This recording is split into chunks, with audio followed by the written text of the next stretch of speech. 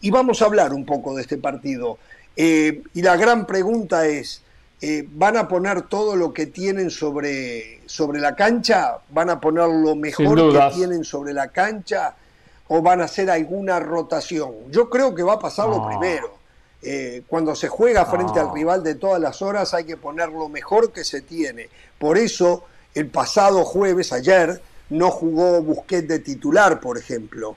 Por eso el miércoles Modric no fue titular tampoco. Eh, y estos son dos ejemplos que por eso, poner de lo que se está pensando para el partido del domingo. Por eso Xavi cuidó a Dembélé también, o cuidó también, él dice después que tenía una molestia física, lo que fuese, pero no quería perjudicarlo físicamente, es un hombre clave en el frente del ataque. No, la pregunta suya es bastante absurda, le digo, ¿eh? ¿cómo van a cuidar jugadores para una final? final es hora de que me vaya de título, un título encima contra el rival de todas las horas. Para Xavi puede ser su primer título como técnico de Barcelona.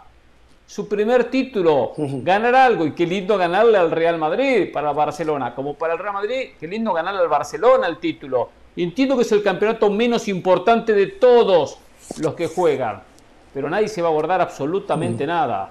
Es una final con dientes apretados. Sí, yo estoy de acuerdo. Los dos equipos van a poner lo mejor que tengan sobre la cancha. Es la primera final de Xavi Hernández como entrenador del Barça. Por ende, lo que decía Hernán, podría ganar su primer título. Para Xavi Hernández es muy importante y también para el Real Madrid. Porque cuando arranca una temporada, uno dice la Supercopa de España. Y si establecemos un escalafón de prioridades, número uno Champions, número dos eh, Liga, número 3 Copa del Rey, número 4 Supercopa de España. Ese es su escalafón, ese es su escalafón, pero está bien. Usted no lo comparte. Estoy de acuerdo. ¿Cuál sería? la Europa League.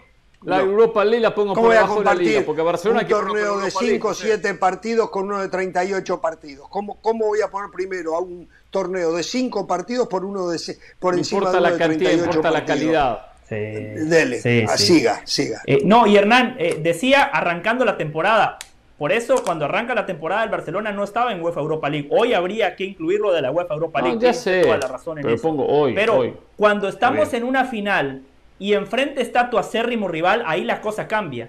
Este título, que a priori no tenía mucha importancia, hoy cobra una relevancia mayor. Porque más allá de que es una Supercopa, más allá de que se juega en Arabia, el mundo va a ver el partido, porque este es el clásico de España, es el clásico del mundo, por eso lo vamos a disfrutar aquí en ESPN Deportes. Usted nunca vio Danubio Defensor, ¿no? Danubio Defensor nunca lo vio, ¿no? Pero bueno, siga, siga, siga.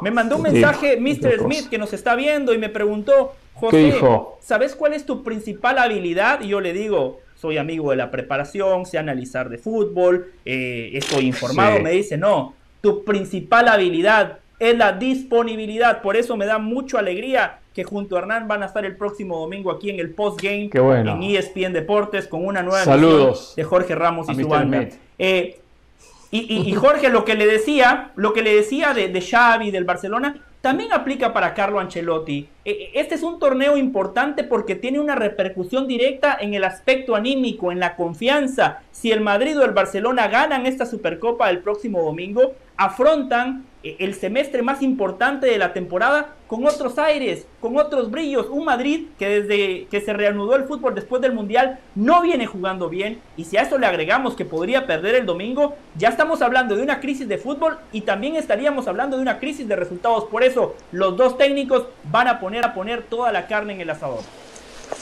A ver, es la típica final en donde hay mucho que perder y poco que ganar, que, que suena frase cliché, pero es una realidad en donde van a comprar crédito, sobre todo Xavi va a comprar crédito, y en donde me parece que el equipo más obligado es el Barcelona. Porque, a ver, lo de Ancelotti ya está demostrado, nos, nos gustará o no las formas, entenderemos o no eh, que, que, el equipo no juega nada y lo vamos a criticar, pero Xavi hasta ahora no ha ganado ningún título, Xavi hasta ahora no le ha dado fisonomía de fútbol eh, total a este Barcelona, ya perdió una final y le encantó supuestamente la manera como jugó, pero yo supongo que ahora quiere ganarla. Entonces yo sí creo que el Barcelona tiene un poquitito más de obligación, más allá que el Real Madrid tiene la obligación de ganar. Jorge, yo entiendo tu pregunta, o sea, eh, no van a arriesgar. Si, si, si Dembélé no está para jugar, si no está en su 100%, no puedes perder a una pieza como Dembélé en, esta final de la Supercopa, pero vas a utilizar lo mejor que tenga. Yo creo que, por ejemplo, en Fati no me extrañaría que salga como titular. Eh, fíjate que ayer, cuando escuchábamos en la rueda de prensa a Xavi, él decía, lo debí sacar antes. Sacar uno, en este caso es meter antes, meter antes en el partido. Porque, además, porque además Ansu se, se, vio molesto. Cuando, cuando él marca el gol, no sé si se dieron cuenta, pero no lo celebra con efusividad. Y el otro día, ante el Intercity, en aquel partido de la Copa del Rey, tampoco lo hace. O sea, Ansu Fati todavía no se siente lo suficientemente querido. Entonces yo creo que va a ser un partido para los retoquecitos, para que el Barcelona gane crédito, pero sí, sí pienso eso. El Barcelona tiene un poquitito más de obligación que el Real Madrid. Bien. Bueno, tenemos que hacer una pausa. Eh, y antes de la pausa, yo, cierro esto, cierro esto con este pensamiento mío. Eh, me baso en lo que vi ayer del Barcelona antes de ayer del Real Madrid. Me gustó más lo del Barça que lo del Real Madrid. Pero el domingo eso significa nada. Significa nada. Porque aunque como equipo está un poco mejor el Barcelona, las individualidades del Real Madrid son más desequilibrantes, tienen mayor peso en los momentos fundamentales de los partidos que los del Barcelona. Para mí eso está clarísimo. Eh, el Real Madrid tiene a Benzema y tiene a Vinicius, que los otros días jugó horrible, Vinicius principalmente, pero jugando una final frente a Barcelona van a tener una motivación. Valverde todavía no es el Valverde que supimos ver antes del Mundial. Modric mismo no está en el mismo mundial, eh, nivel, eh, no va a contar con Chouamini, pero no sé, el jugador del Real Madrid tiene algo que hoy no lo tiene el futbolista del Barcelona. El Barcelona para ganarle al Real Madrid necesita jugar como equipo muy bien. El Real Madrid no necesita jugar tan bien. Sus individualidades, bueno, le han dado una Champions y se habían llevado cuatro bailes de novela y, les, y igual ganaron la Champions. Vamos a la pausa. Eh, al volver. Lo que tiene, lo que tiene, no se apure, lo, tranquilo. No sé por qué se apura con la pausa y no comentamos nosotros. a mí no importa eh, la pausa. La pausa yo la paso. Porque a la gente lo que le importa es Jorge. No, no, no, no, no. Lo que tiene el Madrid es jerarquía. Jerarquía individual. Eso es lo que aparece en momentos claves e importantes. En finales son partidos como el de, el de este domingo o en encuentros de, de instancia decisiva en Champions Ahora, la idea la tiene más clara Barcelona desde la propuesta de la posesión de la pelota, pero es un equipo, decíamos ayer, un equipo ciclotímico, un equipo que no es constante, un equipo que no es confiable y defiende mejor Real Madrid. En el fútbol no solo hay que pensar en el arco de enfrente. Defendió muy mal Real Madrid los otros días. Eh. Antes de ayer defendió muy mal. ese arco. No, no, como algunos que solo miran el arco que está enfrente. Le falta, le falta Alaba, le va a faltar Militao. Yo sé, defiende pero muy Barcelona mal. colectivamente es una lágrima. Peor. Mendy es una lágrima. Lucas Vázquez, pero colectivamente. Lucas Vázquez ni Yo hablo del aspecto del aspecto colectivo, del aspecto colectivo. Barcelona no, no ha defendido bien. Defendía mejor con Casemiro. Defendía mejor con Casemiro. Ya no, defiende tan bien con Chuamení y defiende mucho menos Entonces, ¿quién defiende peor? ¿Quién defiende peor? Hoy, hoy, yo creo que el Real Madrid. Sí, hoy. Con este equipo, ¿eh? yo, yo lo veo parejo. Yo lo veo parejo. Si tomamos como referencia esta Supercopa de España, contra el Valencia la figura del Madrid fue Courtois, contra el Betis la figura del Barcelona fue Ter Stegen. Después tenemos que incluir en el aparato defensivo a la línea de cuatro. El Real Madrid hoy por hoy tiene muchísimas dudas en sus laterales. El Barcelona también, afortunadamente recuperaron a Araujo, que el uruguayo ha sido una buena noticia dentro de todo. Qué fenómeno lo que está jugando. En la mitad de la cancha, los dos Aunque el otro día no puso la piernita, ¿eh? En el, gol, del Betty, no sé, no sé qué. Se, eh, Araujo, el otro ah, día en el gol del el Betis. De Fekir. Toma, el de, en el de Fekir se cae. El, de Fekir, exactamente. Agarra al jugador, pero, pero no cruza la pierna.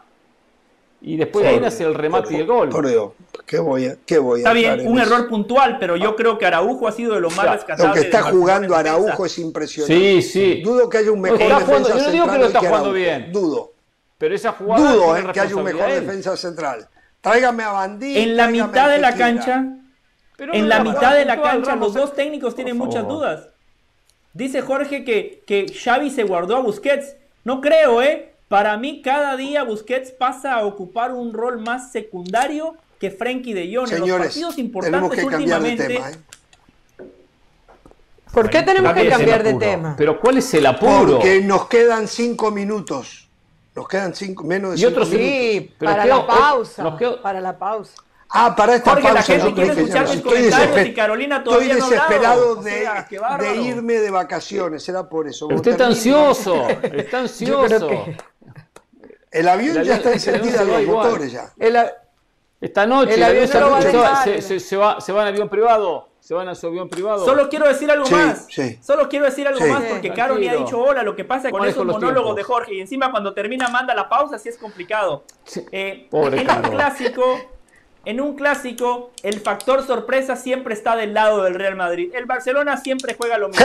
En el clásico y hay otros factores. Y otros factores que no los nombra ustedes. Hay otros factores. Pero si usted quiere, los puede nombrar. En el clásico anterior, donde Jorge gritó los goles del Real Madrid, que lo disfrutamos en el Bernabéu, el Real Madrid salió a tener la pelota. El Real Madrid salió a proponer y a imponer condiciones. Claro, después cuando consigue el gol, da un paso atrás. El Barcelona, sin importar el cómo, el cuándo, el dónde y el rival, siempre sale a tener la pelota, a proponer, a jugar con mucha gente en cancha contraria. Y ese estilo al Real Madrid le viene perfecto, porque en transiciones puede explotar la velocidad de Vinicius, eh, lo inteligente que es Karim Benzema y si juega Federico Valverde habrá que ver dónde lo pone. Para mí tiene que jugar en la línea de los mediocampistas, pero conociendo a Ancelotti, seguramente va a poner a cuatro mediocampistas y Valverde va a volver a hacer el trabajo sucio como un falso extremo por derecha. Eh, eh, a ver, es lo lindo de los clásicos, porque todo el mundo sabe que Benzema no está pasando un buen momento, pero nadie puede asegurar que Benzema no vaya a ser tremendo partido. Todo el mundo sabe que Vinicius no está apareciendo y que no terminó de aparecer en el Mundial, pero nadie duda del desequilibrio de Vinicius. Eh, luego lo de Dembélé, ¿a qué Dembélé vamos a ver? Al que vimos contra el Betis, se va a desaparecer, va, va a ser su noche, Ansu Fati va a sacar esa rabia y la va a poner. Yo creo que va a ser un partido de goles, yo creo que va a ser un partido intenso, yo creo que además Real Madrid y Barcelona siempre estos partidos lo quiere ganar. Uno no imagina, o yo no imagino, un partido en donde uno le pase por arriba al otro, salvo, no sé, que comiences ganando en los primeros minutos 1-0 y el otro se abra y termine siendo goleado, pero pero la verdad es un partido en donde te invita a verlo porque las individualidades, porque la, la, la diferencia que te pueden hacer estos jugadores eh, al final pues termina siendo justamente eso.